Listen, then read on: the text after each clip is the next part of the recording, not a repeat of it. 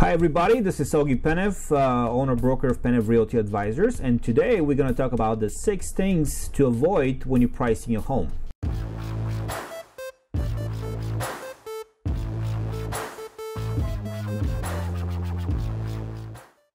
So over the years, I've talked with a lot of sellers that uh, were not successful selling the home, and I found six mistakes that they did over and over, and uh, that's why they were not successful. So today we're going to talk about these mistakes. So the first mistake that I see that a lot of sellers do is that they price the home based on what they paid for the home.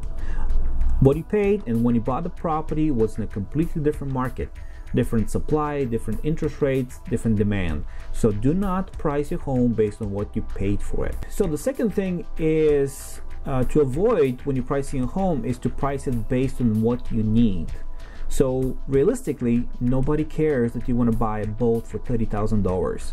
They're all gonna look what the market conditions are at the moment and the condition of the property. That's what the buyer is gonna pay for it. So the third thing to avoid is to price your home based on what your neighbor says it's worth. Your neighbor doesn't know you, doesn't know your property, doesn't know the market conditions, supply and demands, the rates, and most importantly, what will be uh, happening in the market in the next few months. So do not listen to your neighbor. Talk to a professional broker when you're pricing your home. Okay, so the, these were the three things um, that to avoid. There are three more, but just give me a call. I'll be happy to share all of them. Um, if you're interested in selling your home, please give us a call. We'll be happy to sit down and talk to you about it.